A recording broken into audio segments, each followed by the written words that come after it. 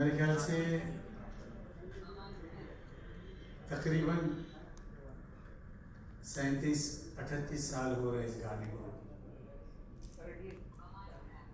और मैं पहली बार राजा साहब से मिल रहा था, इलय राजा जी, जो भारतवर्ष के one of the top most और हाईएस्ट टैलेंटेड संगीतकार जिन्होंने मुझे खूबसूरत गाना दिया। जब पहली बार मैं मिला, सिंपल सा आदमी छोटी कर सफ़ेद कुर्ता और लुंगी सफ़ेद और भस्म लगाया हुआ था। और ऊपर वाला साक्षी है, मैं बहुत ज़्यादा उनके बारे में नहीं जानता था, क्योंकि साउथ इंडियन फिल्म्स की तरफ़ म्यूजिकली मैं बेध्यान था। एक तो सबसे पहले लैंग्वेज की प्रॉब्लम थी, मगर संगीत तो सारे वर्ल्ड में वही है, सारे गामा बाधा निशा सानी तबा मगर ऐसा मगर होता है ना कि एक वर्ड समझ में आए म्यूज़िक के साथ साथ तो उस गाने का ज़्यादा मज़ा आता है। तो राजा साहब को मुझे उत्तम सिंह जी हमारे संगीतकार हैं और केरसी लॉर्ड, वो दोनों जने लेके आए थे कि इनके सदमा के दो गाने गाने हैं, नई फ़िल्म है और पहली हिंदी फ़िल्म कर रहे थे राजा साहब। मगर इतना मज़ा आया, मुझे याद है ए ज़िंदगी जब गाना रिकॉर्ड हो रहा था, कोई डेढ़ पौने दो सौ म्यूजिशंस थे और उसके अलावा गाना सुनने के लिए हमारी इंडस्ट्री के बहुत बड़े बड़े म्यूजिशंस कुछ म्यूज़िक डायरेक्टर्स खाली गाना सुनने आए थे कि राजा साहब किस तरह काम करते हैं। आप सोचिए, वो मंजर क्या होगा, वो बहुत बड़ा उत्सव था फ़िल्म सेंटर में। और मज़े की बात है कि पहले दो, ढाई, तीन साल। हालाँकि ये गाना बहुत पॉपुलर है, ये मुझे मालूम ही नहीं था, ध्यान ही नहीं आया। क्योंकि आप सबकी दुआओं से रोज कभी कभी तीन तीन, चार चार गाने गाया करता था मैं, इस स्टूडियो से, उस स्टूडियो जब एक प्रोग्राम में, शायद दिल्ली में था यह प्रोग्राम और स्टेज पे मुझे कम से कम नहीं तो भी पचास चिट्ठियाँ आई थी कि ए ज़िंदगी गले लगा ले, गाना आप गा नहीं रहे हैं। तो मेरा ध्यान गया, ये तो राजा साहब का गाना है। आप बिलीव नहीं करेंगे, मैंने अनाउंस किया कि भाई लोग ये गाना मुझे वर्ड्स मेरे पास नहीं है। क्या कोई मुझे वर्ड्स दे सकता है तो मैं एक दो गाने के गैप के बाद मैं ये गाना कोशिश करता हूँ गाने की। आप सोच नहीं सकते, सातवें या आठवें मिनट में एक खूबसूरत सी लड़की गाना लिख के लेके आई। तो और ज़्यादा अच्छा लगा। और फिर मैं अंदर गया, गाना दो तीन बार सुना मैंने। और फिर मैंने आके वो गाना गाया और मुझे तीन बार गाना गाना पड़ा। तो आप सोचिए उस गाने की क्या पॉपुलैरिटी हो सकती है। और उस गाने को अभी लेटेस्ट भी गाया गया है तो और भी ज़्यादा अच्छा लगता है। हमारे बच्चे ने ही गाया है, मेरे बेटे जैसा है, अरिजीत सिंह। और जब श्रीदेवी जी इस दुनिया में नहीं रही तो कम से कम जब जब भी उनका यूट्यूब पे या कोई खबरों में आता था तो पीछे ये गाना बजता था। तो ये गाने की, ये किस्सा है इस गाने का। एक किस्सा सुरेश जी ने ही मुझे बताया। आपको बड़ा मज़ा आएगा उसको सुन के, बातचीत की है तो। जब इलियाराजा साहब आए और साहब ने देखा तो एक एक ईश्वर स्वरूप एक वो व्यक्तित्व हैं और एक ईश्वर जब दूसरे ईश्वर से मिलते हैं तो आपस में एक दूसरे की चीज़ें से वो होती हैं। उस टीम में एक चौदह या पंद्रह साल का बच्चा था वो कीबोर्ड बजाता था बहुत बढ़िया कीबोर्ड बजाता था इतना बढ़िया कीबोर्ड बजाता था। उसका नाम था दिलीप बारह साल का बारह साल बारह या तेरह साल का। आप सोचिए। दिलीप नाम था उसका जो बाद में पता चला। आप आप सोचिए उसका क्या नाम था। वो ए आर रहमान साहब। तो आप मालूम। आप आप सोचिए कि मतलब ये ऐसे कुछ बस इसी तरह के कुछ किस्से कहानियाँ अनकही कहानियाँ हमारे इस प्रोग्राम में आएँगी यही इसका थीम है। यही है कि आप लोग सब एंजॉय करेंगे अपनी लाइफ को जिस प्रकार आप भी समझते हैं कि हमारी लाइफ में कितनी परेशानियाँ हैं लेकिन कुछ छोटी सी छोटी सी खुशियाँ हमारी उन सब परेशानियों को दूर कर देती है। वही है ये ज़िंदगी गले लगा ले विद सुरेश वाडकर साहब। और ये आ, मेरा वादा है दोस्तों आपसे कि इस प्रोग्राम में जितना सुरेश वाडकर साहब ने जान डाली है मैं इतना बता सकता हूँ कि आप सबकी ज़िंदगी आपकी ज़िंदगी आपको गले ज़रूर लगा और बहुत खट्टे मीठे हमारे जो अनुभव है किस्से हैं वो इस प्रोग्राम में आने वाले हैं जो हो सकता है आप लोगों ने नहीं सुने हो। तो खट्टे और मीठे तो आप जान सकते हैं खट्टे में कितनी खटास होगी और मीठे में कितनी मिठास होगी। दो से तीन पेज लिखाए लिखे जा सकेंगे आराम से खट्टे में हम लोगों के लिए। तो मैं बहुत आभारी हूँ कुमार भाई का, और नाम भी इनके प्रोडक्शन का स्टूडियो रिफ्यूल तो रिफ्यूल तो रोज ही करना पड़ता है।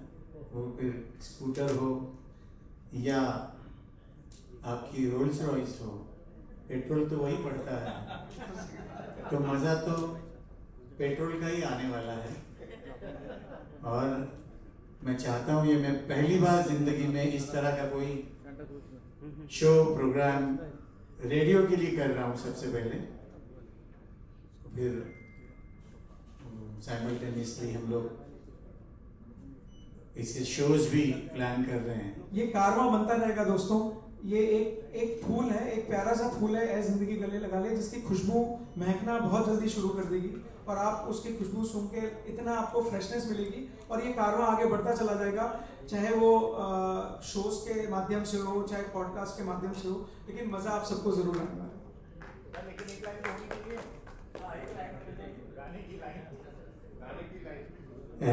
ज़िंदगी गले हमने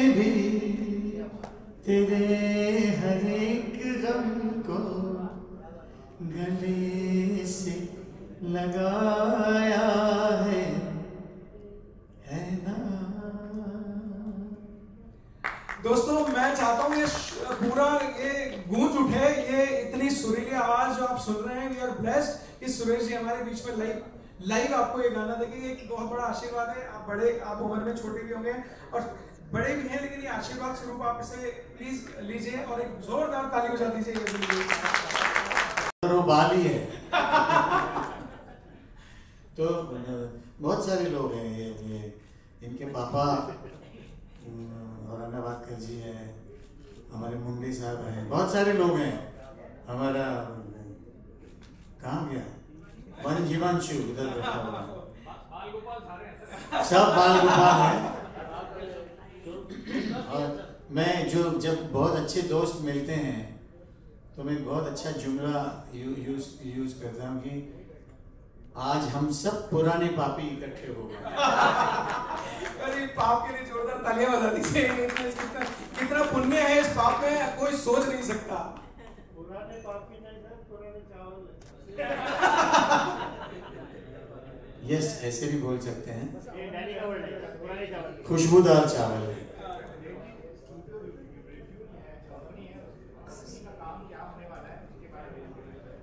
दोस्तों ये कंपनी है स्टूडियो रिफ्यूल रिफ्यूल मेरा ऐसा मानना है देखिए मेरी व्यक्तिगत सोच है। लेकिन मैं आपके साथ शेयर कर रहा हूँ और इतने बड़े इतने मंझे हुए और इतने लेजेंडरी कलाकार हैं। मैंने ये इनके साथ शेयर किया तो मुझे इन्होंने आशीर्वाद स्वरूप ये कहा हाँ। तो आप समझ लीजिए कि ये स्टूडियो रिफ्यूल क्या है सर कि मेरा ये मानना है कि ऊपर ईश्वर जब हमें नीचे धरती पर भेजता है तो एक फ्यूल डाल के भेजता है कि इतना चलेगा। जो चाबी भर के हम सोचते हैं कि ये चाबी भर के एक गाना भी था, जितनी चाबी भरी राम ने उतना चला खिलौना। तो वो एक रिफ्यूल भेजते हैं, लेकिन हमारे कुछ परिस्थितियाँ ऐसी हो जाती हैं कि या तो फ्यूल जल्दी खत्म हो जाता है हमारी लाइफ से, या वो हम इधर उधर कहीं लगा देते हैं। तो सेकेंड रिफ्यूल हमारे पास कहाँ से आएगा धरती पर हमें ऊपर दोबारा जा नहीं सकते और ऊपर जाएँगे तो दोबारा नीचे आ नहीं सकते। तो सेकेंड रिफ्यूल जो है, वो है संगीत। मेरा मानना यह है कि संगीत में इतनी ताकत है, इतनी ताकत है, इतनी ताकत है कि जो सुर है, ये आपकी ज़िंदगी के हर जगह अंग बन के आपके शरीर में रहते हैं। आप सा बोलेंगे तो आपका एक कम काम करेगा, रे बोलेंगे। मेरा मानना है और इस संगीत के इतने बड़े महान गुरु जिनको बोल सकते हैं, जो इस संस्कृति को आगे बढ़ाने जा रहे हैं और इस संस्कृति को पूरे पूर ज़ोर शोर से आगे बढ़ा रहे हैं तो मेरा ये मानना है कि स्टूडियो रिफ्यूल का मतलब सिर्फ़ ये था कि आप सब लोगों को, आप सब लोगों को जो आप डिजर्व करते हैं, ऐसा संगीत दोबारा से दिया जाए और इसी मुहिम को लेके हम लोगों ने ये शुरू किया और ये भी, ये फ्यूल जो है तो कभी ना खत्म होने वाला फ्यूल है। जो सुर का फ्यूल होता है ना, ये उसको स्टार्टर भी नहीं लगाना पड़ता है, अपने आप चल पड़ता है। तो ये क्योंकि अध्यात्म के साथ गाना बजाना जुड़ा हुआ है तो वो तो आपको ऊपर वाले के साथ जोड़ ही देता है। सुरेश जी, सुरेश, नमस्कार। चैतन्य बोल अच्छा कल आपका जन्मदिन है तो क्या बहुत ही मतलब शुभ ये इतफाक है कि आप ज़िंदगी को दोबारा गले लगा रहे हैं क्योंकि जन्मदिन के अवसर पर you know we celebrate our birthday तो इसके और तो ये कोइंसिडेंस के बारे में कुछ बताइए कि ये बर्थडे का ये बहुत अच्छा और बहुत खूबसूरत कोइंसिडेंस हुआ है। सडनली कुमार जी और रमन भाई आए मेरे पास। सुरेश जी हम लोग ऐसा ऐसा। तो दो सेकंड के लिए मुझे लगा कि अरे वाह ये तो बहुत ही अच्छी बात है। और रेडियो के लिए मैंने कभी फौजी फौजी भाइयों के लिए गया था, या कोई इंटरव्यू हो, उसके लिए गया था। मगर ये ये प्रोग्राम जो होगा, कि मैं अपने खट्टे मिट्टे किस्से गानों के साथ मैं लोगों को सुनाऊँगा और ऐसे गाने हैं जो लोगों ने सुने होते हैं। बहुत बाज वक्त ऐसी चीज़ें होती है कि कि मैं कहीं जाता हूँ और समझ लीजिए इंडिया में भी या इंडिया के बाहर कोई गाना गाता हूँ तो सडनली लोग एक दूसरे को देखते अच्छा ये इन्होंने गाया हुआ है। तो ये कब पॉसिबल होता है जब आपके गाने रेडियो पे बहुत ज़्यादा बचे जाते हैं? दोस्तों, ये बहुत बड़ा सच है। रेडियो हमारी ज़िंदगी का एक इतना बड़ा आयाम है। मेरा ये मानना है कि कोई भी किसी भी तरह के क्वालिटी का चीज़ आप रिपीटेटिव रिपीटेटिव बजाएँ तो एक पल को ये लगने लगता है कि हाँ ये अच्छा है। लेकिन आप अच्छी चीज़ को, बेहतरीन चीज़ को और इतनी सुरीली चीज़ को आप बार बार बजाएँ तो यही इसकी मर्म है, यही इस प्रोग्राम की आत्मा है कि किसी भी प्रकार से ये प्रोग्राम रेडियो पर आए।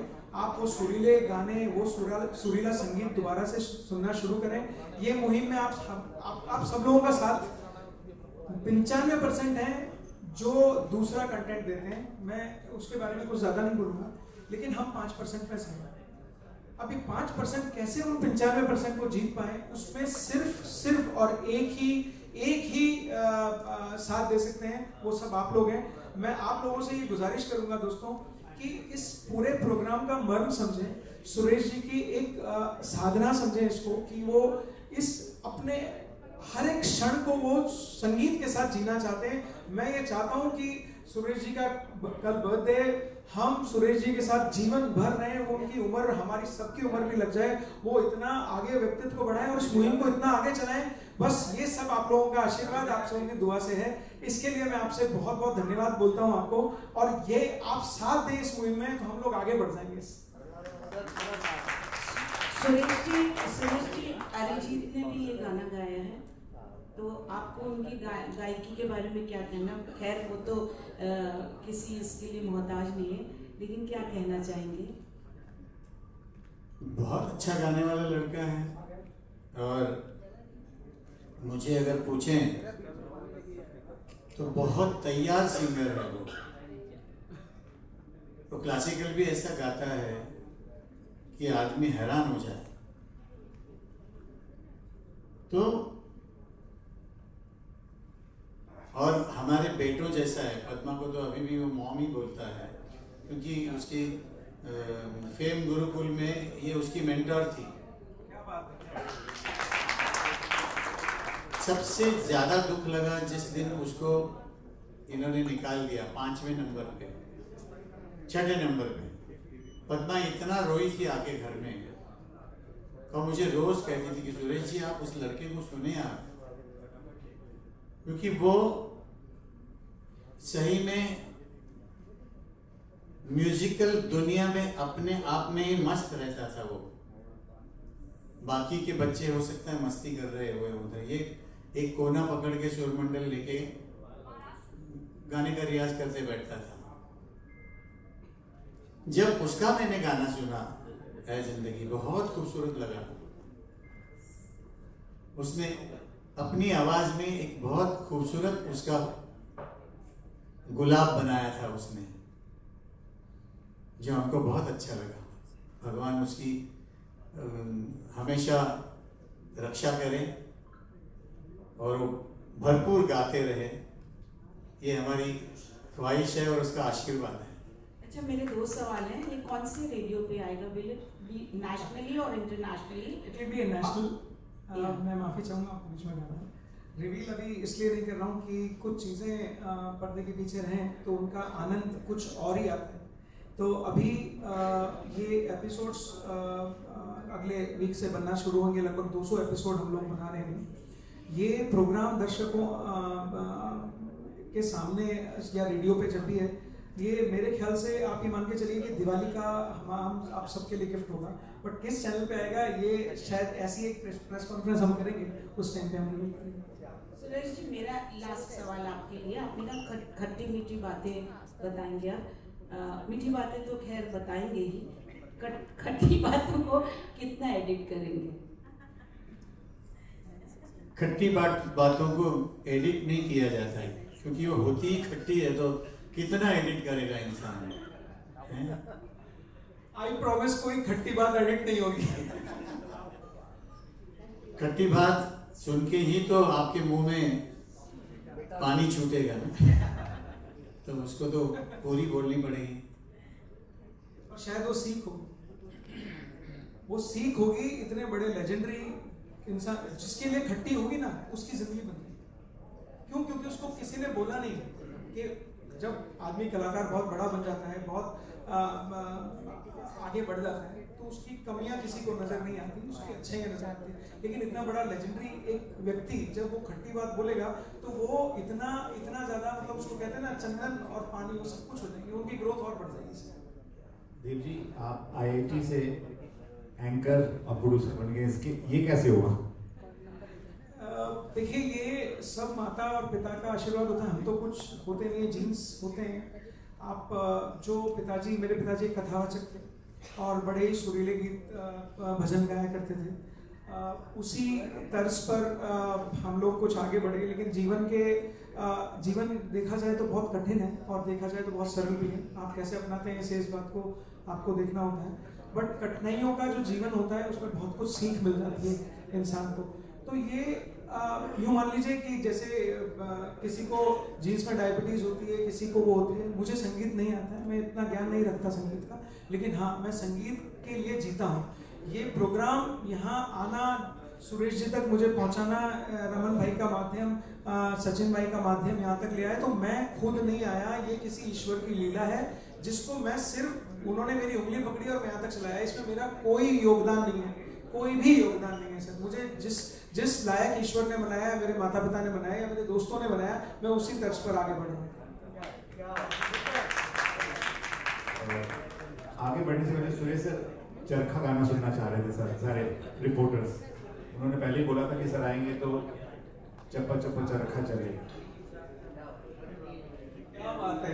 तैयारी पूरी है?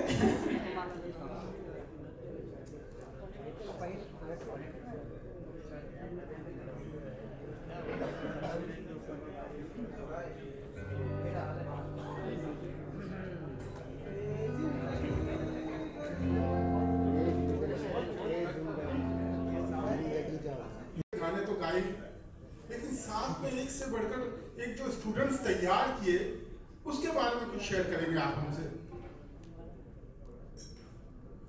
देखिए,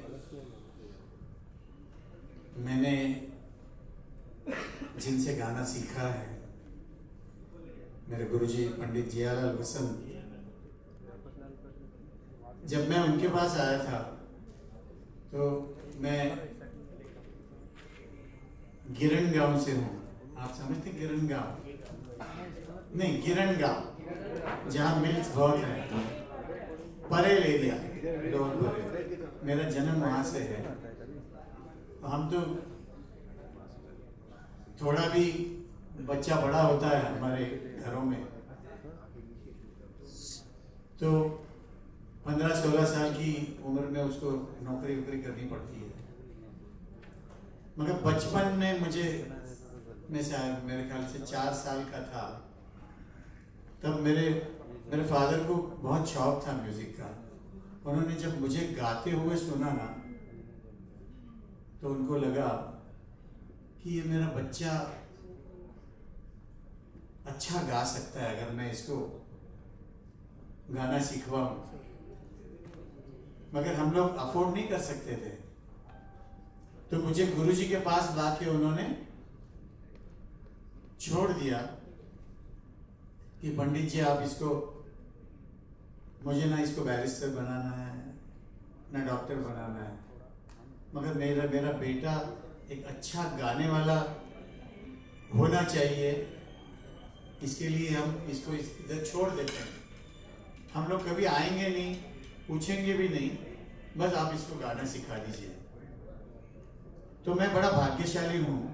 कि मेरे मदर फादर ने ये मेरे लिए सोचा। तो उन्होंने कभी किसी से एक नया पैसा फ़ीस नहीं ली। पहली बैच वो म्यूनसिपल स्कूल से लाए थे। ऐसे ही मैं आठ या नौ साल का था तब उनके पास गया।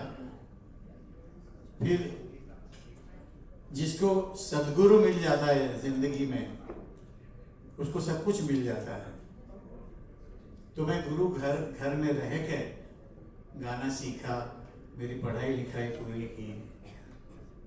तो गुरु जी के जाने के बाद मैंने सोचा कि कहाँ कश्मीर से आए थे? हम बच्चों को अपने पैरों पे खड़ा किया इन्होंने। तो ये जो उन्होंने पेड़ लगाया है, इसको अभी सींचना, बड़ा करना हमारा धर्म है। तो म्यूज़िक स्कूल जो आजीवासन आप आते रहते हैं शायद बिल्कुल उसका निर्माण हुआ। आज वहाँ दो ढाई हज़ार बच्चे गाना बजाना सीखते हैं। उसी में से मेरे बहुत सारे स्टूडेंट्स जो आप लोग सुन रहे हैं इन दिनों स्वप्निल बांदोड़कर है विजय प्रकाश है राहुल वैद्य है, हमारा श्रेयस पुराणिक है, रविकांत त्रिपाठी है। और अभी आपने नया सुपरस्टार अथर्व बख्शी, जो अभी अभी जीता है, वो मेरे आजीवासन का ही स्टूडेंट है। तो सोचिए, हमने ये बीड़ा उठाया है कि नई जनरेशन हम हमारे सुनने वालों के लिए इस दुनिया में लाए। तो ये हमारा बेसिक हमारा आजीवासन बनाने का ये विचार था और बहुत अच्छे से अब इस वक्त आजीवासन का बहुत नाम है सारी दुनिया में म्यूज़िक की दुनिया में। और अच्छे अच्छे बच्चे आप सुन के हैरान हो जाएँगे ऐसे ऐसे बच्चे तैयार हो रहे हैं। मैं सिखाता हूँ, पद्मा सिखाती है, मेरी बड़ी बहन सिखाती है, मेरी बड़ी बेटी भी सिखाती है, वो अथर्व बख्शी मेरी बड़ी बेटी का ही शागिर्द है छोटा सा बच्चा है। क्योंकि हम हमारा कर्तव्य है कि हमको मेरे सुनने वाले माई बाप ने जो दिया है वो मेरे स्टूडेंट्स को भी मिल जाए मेरे बच्चों को भी मिल जाए। यही भावना है। बहुत बढ़िया। एक और आखिरी सवाल पूछना चाहूँगा मैं।